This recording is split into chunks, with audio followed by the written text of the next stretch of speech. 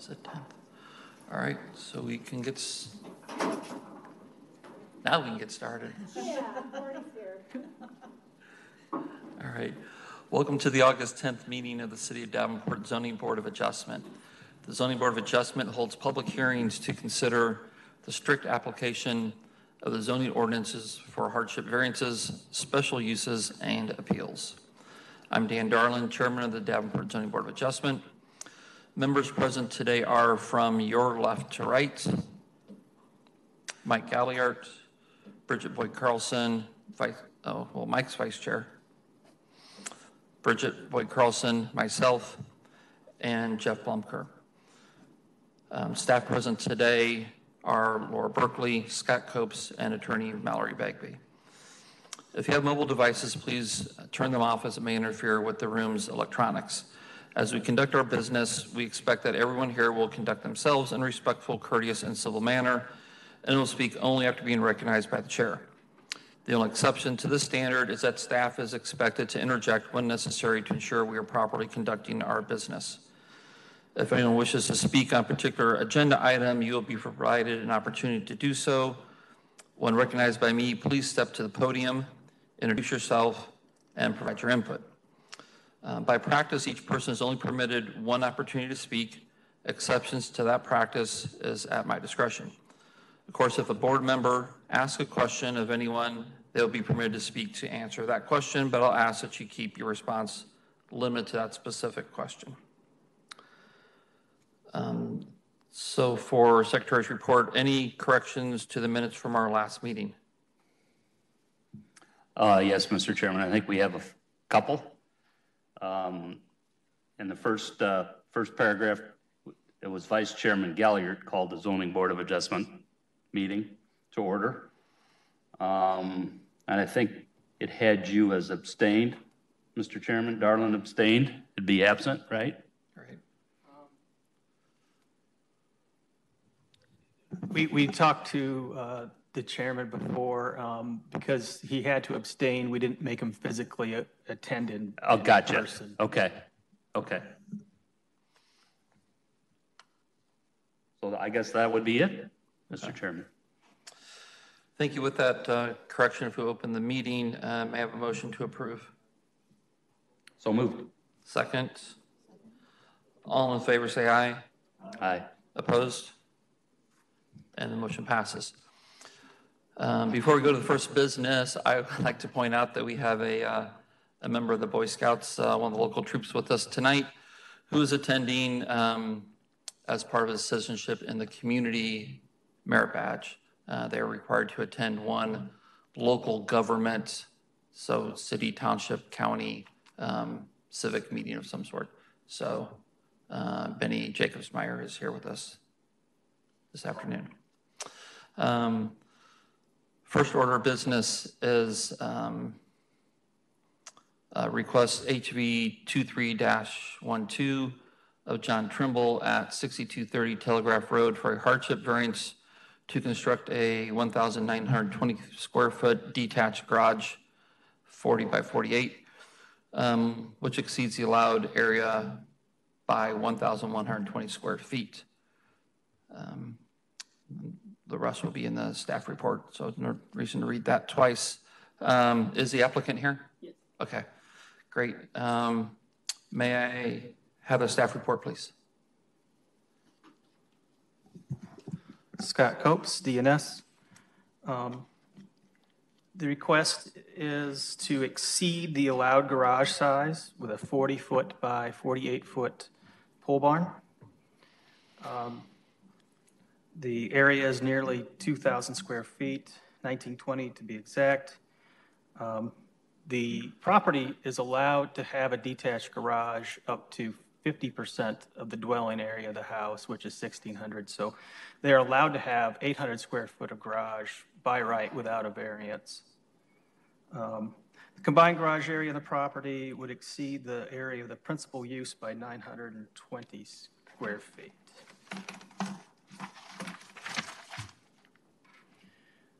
So this is the site. The property line is outlined in yellow.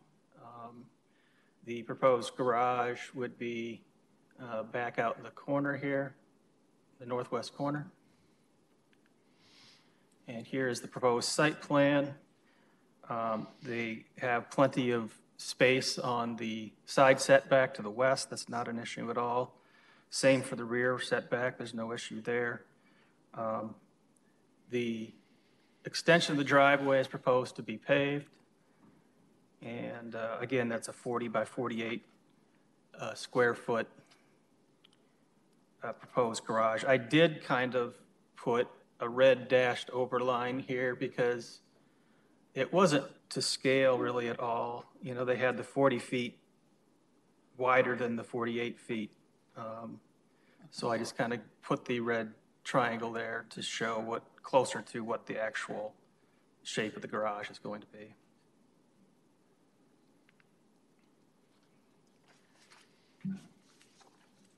So again, from the staff report, this is where this table is taken. 50% of the living area or 720 square feet, whichever is greater, um, is allowed for a detached garage. Since this house is 1,600 feet, they can go beyond the bare minimum of 720, and they can do an 800 square foot garage by right. Um, The garages in, in our districts are allowed as a an accessory structure. Uh, Basically, that means it's a detached structure located on the same lot as the principal building that is incidental to the use of the principal building. So an incidental, incidental use is secondary uh, to the primary use. It's limited in nature and it is an accompanying but not a major part of a principal use. Incidental uses are generally smaller or lesser than the principal use of a property. So in the case with the application here today, we have a proposal that would result in more storage area than we have living area on the property. And in staff's opinion, that's not a incidental use or accessory use.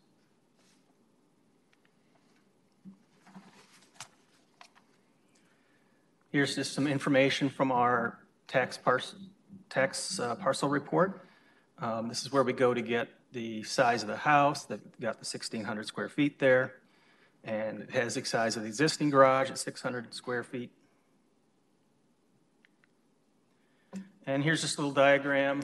Um, The overall rectangle, the, the blue, and- or the, uh, the gray and the green together, that's the proposed size of the garage. The green area is what is allowed by right. Um, It, it is worth noting that the applicant has a, an RV that is, I think it's 31 feet, or, I'm sorry, 36 feet along, but we can verify that later. But you could have a, an RV fit in the 20 by 40 um, green area without a variance. So it is possible to build a garage on the property, meet the code, and still fit an RV in a garage. Um, Here's just one of the existing, yep. Could you back up? Was that just a typo? The 40 by 80 should be 40 by 48.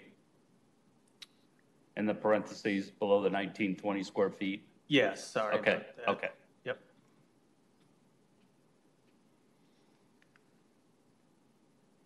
And so here's a photo um, of the site. And you can see in the rear, there's a small shed that's going to be removed. Uh, The driveway is going to be extended.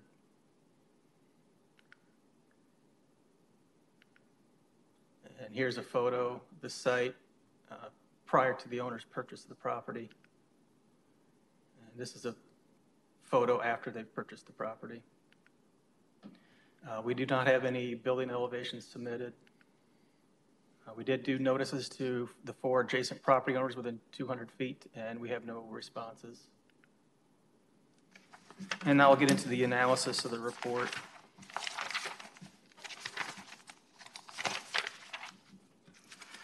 Um, Item number one, ordinance created hardship. Uh, The applicant has stated that damage would occur to the RV and their equipment without a garage. Um, Staff's response is that items owned by the petitioner and protecting items or protecting them is not grounds for a hardship variance. Um, Excessive garage area is considered a convenience to the petitioner. They're allowed to have 800 square feet without a variance. Item number two, physical and topographical conditions of the site limiting development. Um, The applicant doesn't state that there are any physical or, or limiting conditions to the property. Um, Staff uh, accordingly has said that there's no evidence of this creating a hardship, and so they do not meet the second standard. Third standard, um, demonstrable evidence exists establishing a unique circumstance. The applicant has stated that there's other garages in the neighborhood that exceed 50% of their uh, living space of the adjacent structures. Um, When looking at unique circumstance, it's unique to the property. It's not comparing the property to other locations. Additionally, uh, some of those properties may be non-conforming, illegal, or maybe had a variance. So there's different reasons for that situation. Um, Adjacent or neighboring non-conforming properties are not unique circumstance to this property. No evidence has been presented in the request as such. Number four, the applicant has stated that the rural agricultural nature of the area of this building would not alter the essential character of the locality. People would not be surprised to see the addition of a nice storage shed on the property. Staff's comments are that the granting of the request would impact the character of the neighborhood. Uh, With this overly large garage, the structure would exceed the size of the dwelling by 157%. And staff's findings, petitioner has not demonstrated any practical difficulties or particular hardships associated with this property or for the needs of the additional garage space beyond the allowed 800 square feet, other than convenience. The proposed structure would exceed the allowed detached garage area requirements by 150%, 57%, and would exceed the living area of the structure by 920 square feet, essentially making the primary or principal use of the property uh, storage.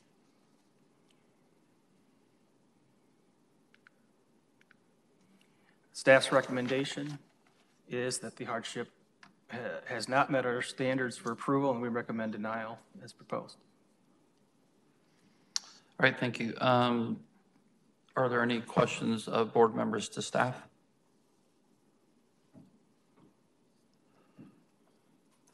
Yes, Mr. Chairman, I do have a question. Scott, um, do you know the relationship from uh, where this address is to the city boundaries? Yeah, it's probably maybe a quarter mile or maybe even up to a mile. Um, There's Utah Avenue further to the west, and then Okay. there's 280, and then there's the city limits. So the city limits is right along 280, pretty much, or? I believe so, yes. Okay. Can you flip back to um, overhead that shows the adjacent properties? Oh, that was good. That's fine, the one that shows the lots Uh, the lots. with the yellow lines. You went past. Oh, it. you want the very, the notice, Yeah, that slide, that shows it well. Um, Are all those the same zone, zoning? yes, they are all the same zone A1. Okay, I'm sorry, that's the old designation. The new designation is S-AG, which is ag as well. so they're all zoned agricultural. Right.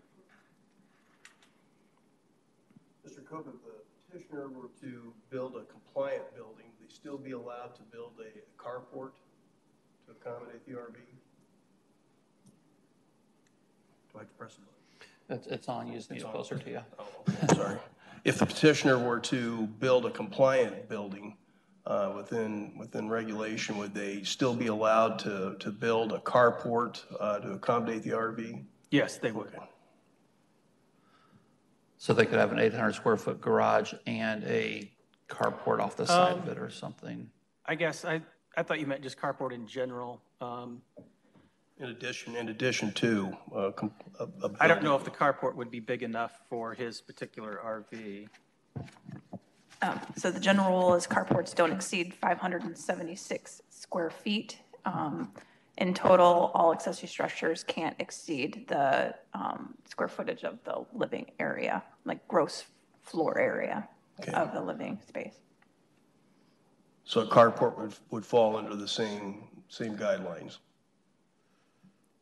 Wait, as, a- as the What, what I heard is that all couldn't exceed the, the square footage of the house, where the garage can be half the square footage, and all accessory buildings can't exceed the total square footage. Right. So they have to budget their, their use of the three different spaces they're allotted. So they can have a attached garage, they can have a detached garage, they can have a carport, but it's restricted by the house size and the size mentioned in the chart. So the carport and the building would be considered one structure?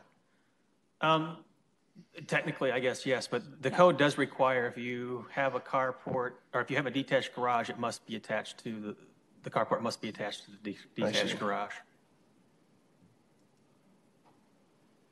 Okay. Any other questions? All right. um, So at this time, if I could have the applicant uh, go ahead and step up to the podium. And um, so a couple of things. The microphone is in the ceiling right above you, so we ask that you kind of stay centered there so everything can be heard and recorded. And go ahead and uh, give us your name and then um, present your request. Uh, my is John Trimble, uh, 6230 Telegraph Road. Um, requesting a variance, uh, to construct a 40 by 48 building, um, to house my RV, uh, lawn equipment, uh, snow removal equipment, um, and just in general, make the place look nicer than having stuff all around my area, I guess, the yard. and just trying to improve, improve the area altogether, uh, altogether. Um, and given the rural nature of the, the area, it's not unusual that every house, I don't know if any of you have driven out there at all, but as you're driving out Telegraph, everyone has some sort of a huge shed, which I'm not, obviously that's not mu- your concern or mine, but it's not unusual to see that. Um, and we're just trying to make the place look nicer, look better. We love Davenport. We, we're, we work here. We, our kids are growing up here. We, we have grandkids and we're just, uh, uh, you know, trying to make it better, I guess. Um, and yeah, we, we're literally, Utah is like the city limits. So it's like eighth of a mile or whatever. It's, it's like right, right on the border. so I don't know if you guys have any questions for me or. Yeah, just looking at things here. What, what is the type of architecture? Is it just like steel siding and a steel roof and? Yep, correct. Okay. Yep, yep. And we're, we're, the, the biggest reason, we, uh, right now, if, if this all, all gets through, we, we are trying to actually purchase my parents' motorhome, which is significant, it's like a forty, roughly forty-two feet. And that's why we're trying to do this. So we're, we're, we're ahead of the game. If we, if this does go through and we do buy theirs, then we will get rid of ours and then if we did a, if we did a twenty by forty, we- we'd be sticking out about three feet, so. um, And, and, and I've had all, actually, all of our neighbors have come over. This is my wife, Melissa Trimble, by the way, and, and she's talked to some of the neighbors, I've talked to some of the neighbors, and they all are like, oh my gosh, yeah, that- we didn't know you had to go through all this to get a building, which is okay, I'm not saying that, but uh, they're, they're all for it, and they all think it's great, so. What, Mr. Trimble, what are all the assets that you, you want to put in that, in that building? Well, we got our RV. Um, I have a tractor with a bucket and loader on it and everything that we, we, we go out to her place, uh, her mother, her mom's, my mother-in-law's, and we'd have like gardening equipment, like a tiller and uh, a plow and a drag and all that. Um, so we'd like to get that inside. Um, we have my truck, uh, the van that we tow behind our motorhome, uh, lawn equipment, um, snow removal equipment, um, just, just stuff that I don't want to get rusted out and, and out in the elements. We, we had an instance a couple years ago where our RV was sitting out and, and uh, some squirrels got in there and chewed up some wiring and hoses and it was like four thousand dollars worth of work. So anything I can do to prevent that from happening again, I would love to get that done. And, and if you guys have ever been out there, it's, you're out there, it's, it's all agricultural, there's, there's fields all around me and field mice and squirrels and everything's getting, you know, so it's, it can be a pricey thing living out there, but we love it. Um, it's quiet, nice area. So, Are any of those assets necessary for, for the way you earn a living? uh, no, nope, it's just cleaning my driveway. We go out to her mom's and do her driveway the, for snow removal, I guess I should say. And then we have, she's got a garden and we kind of help her out too. So, no.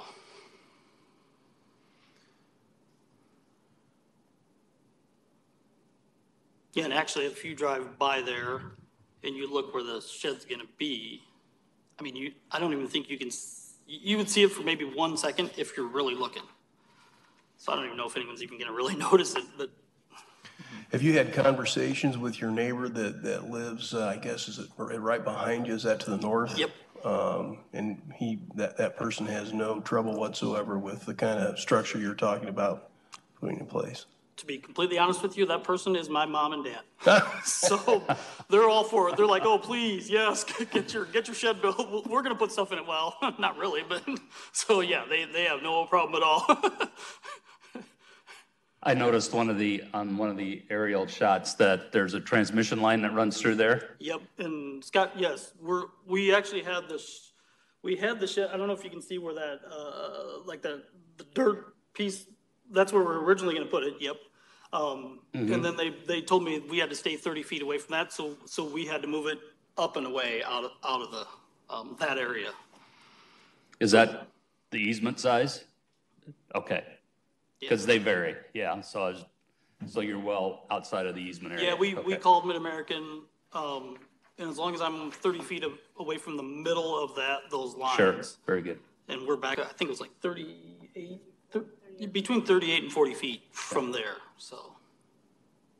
Well, yeah, you can see the motorhome there. They, and I've had tree branches falling out of there, so I'm trying to move it around my property to keep damage from happening. But, so yeah, I think it just, it just make an improvement to the whole area out there. Once we get it, if if we get it approved, we can make it a lot cleaner and nicer So the, with the 800 square foot building that you would be allowed to build, uh, it's pretty much the only thing you'd be able to put in there is, the- is your motorhome. M- Our current motorhome, yes, right. Yep, and maybe one, maybe the, the lawnmower, maybe, next to it, I suppose. Mm-hmm.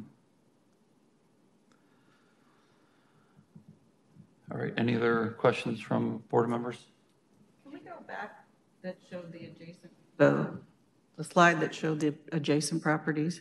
Notification, there we go.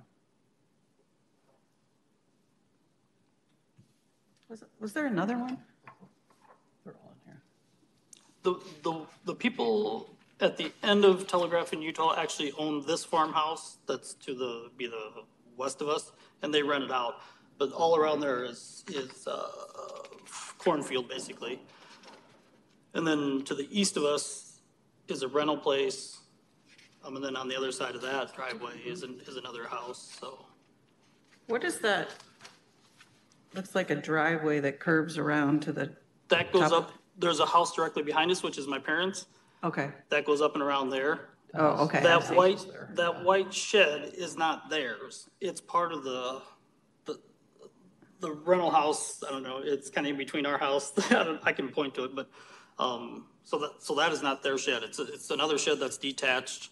But that's their house up, Directly north. yeah. Yeah, like straight up from the, the red, well, that's the shed, and then That's to the the shed. left of that. Over is- to the left. Yeah, that's their That's house. Okay. house, okay. Do you know the size of that shed? Uh, the white shed, he told me, I don't, I don't. I think it's, I thought he said it's like thirty by forty. And that belongs to, That belongs to, Property. to the, to the property right to the east of us, To the, okay, okay. So the middle of the three, the middle of the three, yep, yep. correct. Okay. the rental property that is owned still by the, another family that's kind of along here, is that whole, like, that belongs to somebody else. So there's a house here, here, his folks' house, and then our house. Okay. Yeah, actually, they have, the sixty-two thirty-two Telegraph Road is actually my parents' house. That's not Andrea Beckgy, um, anymore. That, that has changed, like in February, I think they bought it. But that's the same person that has the rental house now. So they had all three of those properties, and then we bought one, and then my dad bought the other one, so. Okay. Any other questions? All right. thank you. Um, Okay. Have a seat. All right, thanks for your time. Oh, yeah, of course. Um, we don't have much of an audience, but so my next questions are if there's anyone in the audience who wish to speak in favor of the request? And anyone in the audience wishing to speak opposed to the request? Okay. Um, So our, our next step is if you have any final comments, that's usually provided if anyone wants, gets up and speaks in favor or opposed, but having none, unless something's jumped into your head. Okay, so no final comments. Okay, board discussion. Thoughts? I think it's admirable that, that uh, the Trimbles want to clean up their lot. I mean, they've, I was out there and, you know, they have a lot of equipment and assets back there that could stand to, to be undercover. And it would certainly improve the, the appearances out there. Um, Outbuildings are not out of character at all. Um, Again, just, just from a visual, you can't really speak to the, the compliance of those, those buildings, but, but nonetheless, I think it, it's, the size of the building would be a concern to me if I lived in that, in the house directly uh, north, uh, there behind you. Um, And I understand that if your parents are there, they, they may, uh, they they may feel, feel good about that, but if, if they ever moved and somebody else moved in there, they may feel differently about it. Yeah, that's my concern of who, uh, who owns that property is that, I mean, someday that will change, right? Um, It always does for one reason or another. So it's, it's great today, but, you know, will it be in the future? Yeah, I, I kind of struggle with this mainly because of the fact that it's in such a rural area. Even though it's within city limits, um, it certainly appears that it's a rural agricultural area and fully understand that the code states, um, you know, limits the size, but I, you know, that's, to me, that's specific to a very urban setting. Um, Even though, uh, you know, we have quite a few other outbuildings in the area with, with your neighbors and that, uh, whether they're conforming or non-conforming, legal or legal, um, I guess is, is, doesn't come into play. However, uh, it certainly wouldn't be out of character. So I, yeah, I really struggle with this. Yeah, my, um, my concern gets to be with the, uh, principal use of the property. So, um, that's one thing to say, all right, I'm not, in, in this agricultural environment, maybe I'm not too tied to the fifty percent. Um, but at the same time, you know, you could, you could exceed the eight hundred square foot and maybe it's a thousand square foot or twelve hundred square foot, but, but now we're building something that's actually larger than the home itself. And that, that becomes more of a a sticking point for me. And I concur with that point, Chairman. Um, And so I guess I would ask the board, would the board be um, more, more inclined to approve something like this if, if it was just a, a- smaller percentage over? Yeah. I think what we would have to do is, is act on this petition. Right. And then, um, But just for If- guidance for the. if it were denied, they could um, certainly present something less than current, um, but maybe it's still more than 50%. And it would, so a, a different petition would have to come back in front of us. I don't think we can stipulate that during. Right. But Mallory, do you have any guidance? to come back within, um, is it a year? If they are denied today, they can come back one year later with something similar. But if they want to come back with a new idea or new plan, within that year, it has to be substantially different. This would not, a, a smaller size, but still over the allowed size would not be substantially different. But, but we can't, we cannot motion to approve up to a certain size. We can either approve or decline this motion, this That's right. And we would Okay. caution you against making any amendments like that on the fly because we've had issues in the past where Yeah. it gets um, murky. That's what I thought we'd either, we, we rule on this petition up or down, and if they want to do something different, If you are inclined to table it, you could table it and we could modify it. And that would be, that would be acceptable to modify the square footage. Yeah, But the petitioner would have to do that. the petitioner, yeah, I would, I would ask the petitioner request the tabling of it. Um, and then they would have an opportunity to work with staff to determine what would be a more reasonable use so that staff could generate another report. Yeah, I- I- I'm supportive of that. So, so this is where we're at, if I understand. Um, If we, if we vote on it now and decline it, they cannot come back for a year unless it's substantially different. Correct. Or we could ask them um, if they are willing to, to request to table it and come back with a modified request that we could hear much sooner. Yes. Okay. And if they're, and if they don't table, then we move forward with ruling on this one. Is that the request you want to make? Yeah. You want to make that request to see if they're willing to table? All right, um, so, John. if you could- Petitioner, do you understand what table means? I mean, just, uh, instead of voting today, we would postpone it and have another meeting. And then have a diff, a vote on a, um, a differently worded request. So the different words would be the square footage. Right. You do not have to request the tabling, but if you would like to request the tabling at this point, you could do that. So John, John, why don't you go ahead and stand back at the podium so I can talk to you and, and we can hear you.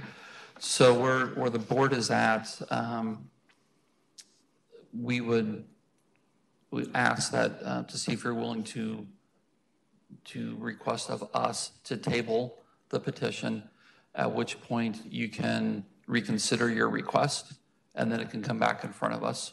Or we can continue as is and vote up or down.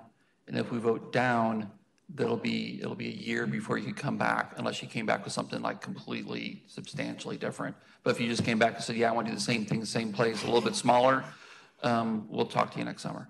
So, um, so would you be willing to table this and, and perhaps revise something that we could look at in the near future? Um, I'm not sure. And the only, reason we're kind of under a little distress right now is because we had actually hired somebody to do this. And he, he had already bought all the, um, product to put this up.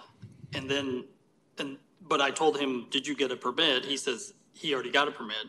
And then come to find out, he did not get a permit. And so we actually have all the products sitting in our backyard, which is not your fault by any means, Right. obviously. It's nothing you guys did. We, this guy had said, oh, I've built hundreds of, hundreds of sheds out here and never had a problem and blah, blah, blah, blah, blah. And So now we're kind of, that's worse. I don't know if one of the pictures showed some of the product sitting there already.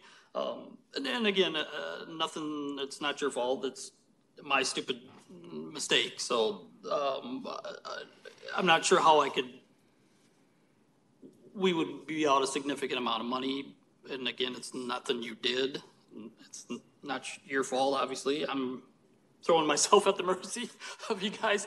But, uh, uh, so yeah, I, I don't, I don't know if I would, I'm not sure I could change it enough May, to. may I, Mr. Chairman? Excuse me?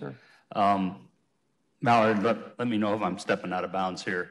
So where we're at right now is basically the, I think that the board is not totally supportive of your request. And, and the asking of you to table it and ref- refine your request Yep. may be more acceptable. Uh, if- Yeah. if- Are you fully understanding of that? And, and I don't, I don't know that, I don't know that's, I don't know that we can say that we were, that we wouldn't approve it. Um, It's, it's just, you have to understand that if we don't, then it's a year before it could come back in front of us. And, and I would say it's, it's a risk, so. Okay. Um, Or if, if you ask, we will, we will continue and, and make a motion and, and vote on it now as, as written. Okay. Um, What's your thoughts? You're talking about the old house? If we request a table, You wanna come Can, up? can you come up and, This is my Yeah, wife, well, yeah. Melissa, I already said. if we request a table and come back with something that's adjusted but still tries to use the materials we have, I mean, that's where I struggle. Um, And it's not enough of a change. Yeah, I don't know. It's a tough one for everybody. Well, yeah, not, not knowing the materials, I don't I don't know that I'm in a position to give you guidance on what can be reused. You know, if, you know, the, the structures, the beams, you know, I, I don't know, you know, And that's if, for if it's, you know, gables or, um, Right. yeah, trusses already built and so then you can't change the width, you know, so I, I'm not in a position to provide that guidance. Um, There's no guarantee that the board would vote in favor of anything over the allowable size. Right. And if it was not over the allowable size, it would need, to come to the board. But the code is a bright line rule. And the board has a history of applying the bright line rule of the uh, square footage allowed. Right. Yeah, in, in, in the end, our, our, um, what's the right word? Our, um, guidance is to, is to follow the, the, the strict application of the zoning laws. That's, that's our, I I guess, our mission. Um, We are trying to follow the right paths and do the right things by being here and requesting and not just constructing a structure. Um, But at this time, we would uh, request a table. okay. Do we, do we vote on tabling? Can I make one point of clarification? You can request a table and come back with the same request for the vote. What this does is give you a chance to review. Right, right. so you, yeah, so you, so you could go back to your builder with these materials, what, what can we do? And if it's, well, it's this or nothing, you can come back with the exact same request and we could vote on it then. So you're not out anything as far as that goes. Thank you for that clarification. Yeah, thanks, Laura. Yeah, so, You would move the table to a certain date. I think staff would have a calendar of when that would be available. Do you have a calendar? Yes. Any thoughts on how long it would take you to discuss with your builder? Since we're going smaller, we don't need to notify, so we can go to the next cycle two weeks from now, Okay. which is in here. Today's date is the 10th.